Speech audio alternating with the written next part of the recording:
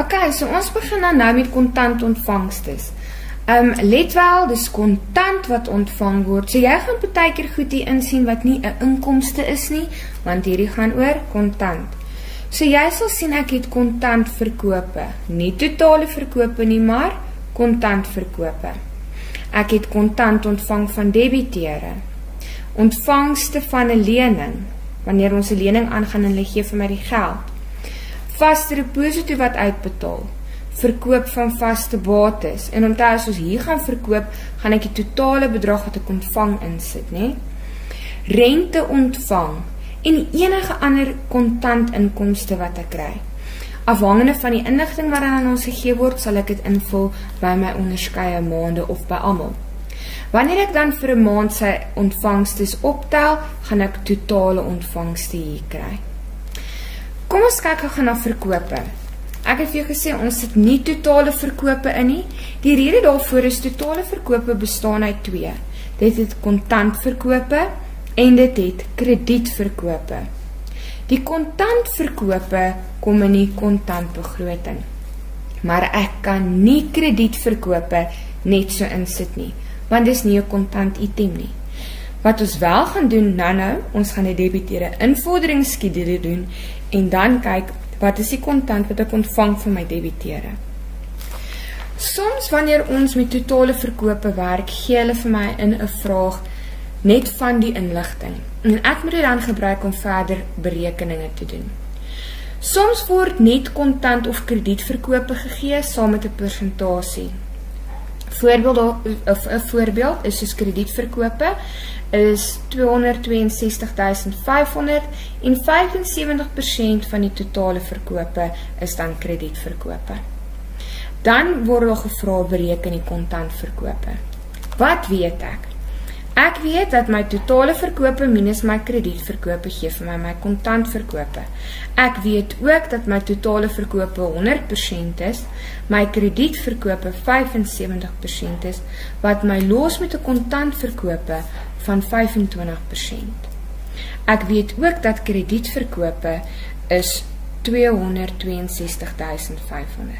Onthou, wanneer ons van dieselfde tipe inligting het en ek wil die totale verkope kry, gaan ek hierdie deel.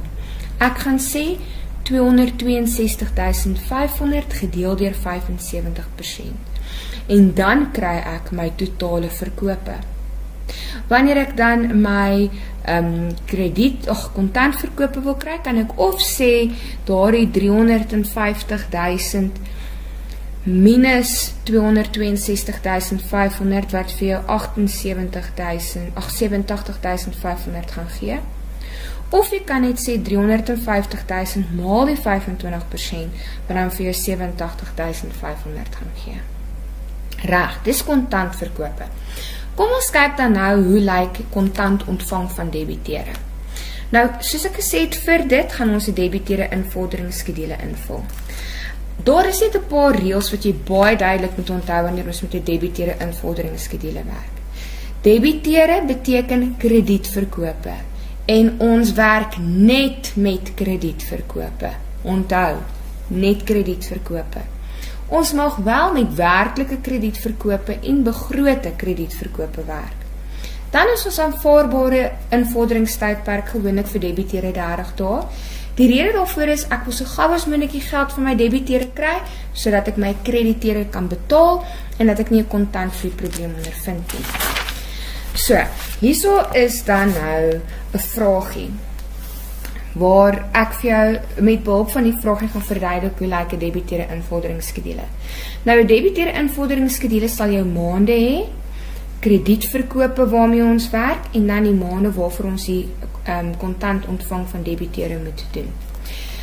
Hulle vra vir ons stel die debiteure invorderingskedule op vir die tydperk April tot Junie, April, Mei, Junie en um, bereken dan die totale uitstaande debiteure op Junie. Ek gaan net nommer 1 nou doen. Dan gee hulle vir my my geskatte totale verkope. Gelukkig vir ons het hulle dit klaar gedeel in kontant en krediet, so ek kan my krediet net so gaan oorskryf. Maar nou hier kom die invorderingsskedule gedeelte nou eintlik. Hoe ontvang ons of verwag hulle dat ons ons geld van ons debiteure gaan ontvang? In hierdie vraag word verwag dat 30% van die debiteure in dieselfde maand as die verkope betaal. Met ander woorde, as hulle in April aankoop, gaan 30% in April betaal. 55% na 30 dae en 13% na 60 dae. Na 60 dae gaan ons daai 2% wat nog geskuld word as oninbaar afskryf. OK. Um eintlik na 90 dae. Jammer. So kom ons kyk gou hoe gaan ons dit vir ons maklik maak om nou uit te figure hoe werk hierdie persentasies. Nou die kroeg manier is die volgende. Jy skryf al die maande wat jy het, wat hulle vir jou hierso gee.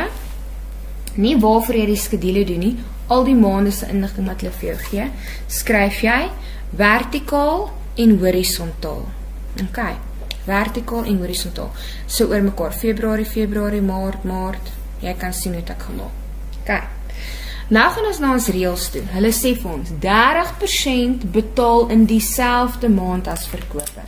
Met ander woorde, in Februarie, as ek in Februarie verkoop, gaan 30% in Februarie betaal. As ek in Maart verkoop, gaan 30% in Maart betaal. So gaan ons dan aan.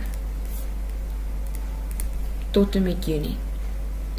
Dan sê hulle vir my 55% gaan betaal na 30 dae. Met ander woorde, as die verkope in Februarie is, gaan 55% in Maart betaal. In Maart se verkope gaan 55% in April betaal en so gaan ons aan. Onthou as jy nou in 'n vraestel werk, gaan jy hierdie baie vinniger doen. Jy gaan sommer dit so rof trek. Jy gaan nie punte vir die kry nie, jy kry punte vir wat hier staan. 13% betaal na 60 dae, so as dit daar verkope is in Februarie, gaan 13% in April betaal en na April word dit afgeskryf. Maart gaan Mei 13% betaal. Van April se verkope gaan 13% in Junie betaal. Nou, wat het ek wat ek moet doen? Ek moet doen April Mei en Junie. En kyk nou hoe lyk dit. Dit lyk baie soos wat hier bo staan. Die rede hoekom ek hierdie doen is maar net om dit seker te maak jy kry jou punte. So ek het hierso 13%, 55%, 30%. Ek het hierso kyk nou mooi Maart, Mei, so Maart, Mei 13 55 30.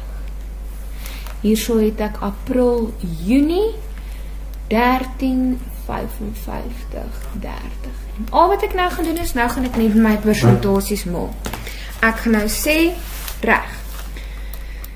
43% ag 43000 maal 13% gee vir my 5590. Ek kan sê van daai 51000 55% dit gee vir my 1820050.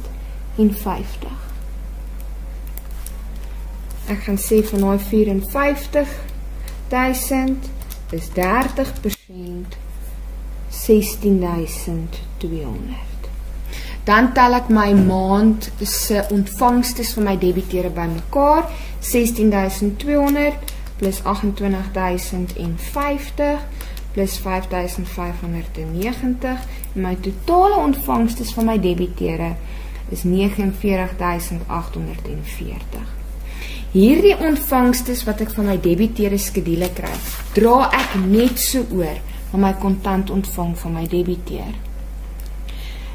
As ek dit dadelik oordra, raai wat gaan jy hierso kry? Jy weet dit, jou begripspunt. Of dit reg en of dit verkeerd is, jy het jou antwoord gevat en oorgedra. Die kontantverkope vir April was 36000. Die rede hoekom ek hierdie spesifiek gedoen het April van bo na onder, want baie kere vra hulle nie al 3 maande nie. Hulle vra net Mei of hulle vra net Junie of hulle vra net April. Dan moet jy weet hoe hierdie net so te kan bereken. Kom ons doen gou die res. Ek het hierso 51000 maal met my 13%. 6630. Ek het 54000 maal net my 55%, 29700. Ek het 57000 maal 5 Ooh, ek lieg amper vir julle hier, maal 30% is 22500. Die totaal dan plus 6630 gee vir my 58830 en hierdie gaan ek nou net weer dadelik oordra na my toe. Vir my ontvangst is 58830. Ons doen gou-gou Junie. Junie is 54000 maal 13 7020 75000 maal 55 41250 en 90000 maal 30% is 27000. As ek dan my totaal by optel,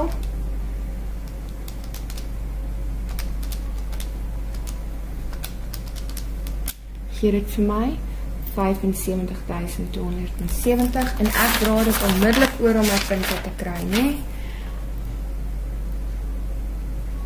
En dan kan ek net my kontantverkoop gaan inskryf. Wat is vir my 50000 en vir Junie 60000. Daar's hy. Ek wil net vir julle nog een ietsie wys. Wat gebeur as daar korting is? Meeste van die kere is daar korting as iemand in dieselfde maand betaal. Wat doen ek dan? Kom ons sê daar was 'n 5% korting hier gewees. Gaan ek nou sê, reg, 43000 maal 25%. Nee, jy kan nie. Want gaan net 25% terugbetaal. Nee. 30% gaan terugbetaal. Van daai 30% wat terugbetaal, gaan ons nie die volle bedrag kry nie. Ons gaan 5% minder kry. Kom ons kyk gou-gou. As ek sê byvoorbeeld Junie. Junie maand word 'n uh, is se kredietverkoop is 90000. So ek gaan nou my ek gaan reëls toepas. Wanneer daar korting is, gaan ons twee reëls vir onsself gee. Ons gaan sê ons kry eers die persentasie van die betaling, met ander woorde daai 30%. En dan gaan ons sê minus die 5% korting. Nooit ooit mag jy sê maal 25% nie, jy sal al jou punte verloor. So, 90000 maal my 30%, weet ons, ons het dit al bo gekry en sê klaar bereken, is 27000 gaan ek die volle 27000 kry. Ons gaan nie die volle 27000 kry nie. Ek gaan slegs 95% van daardie bedrag kry. Wat vir my gaan gee 25650. As jy nie daarvan hou dit so te bereken nie, kan jy ook sê reg 27000 maal 5% gaan vir my gee 1350 dan 27000 minus my 1350 gaan nog steeds vir my gee 25650. En dit is kontant verkope vir jou. Ek lief alweer kontant ontvangst is.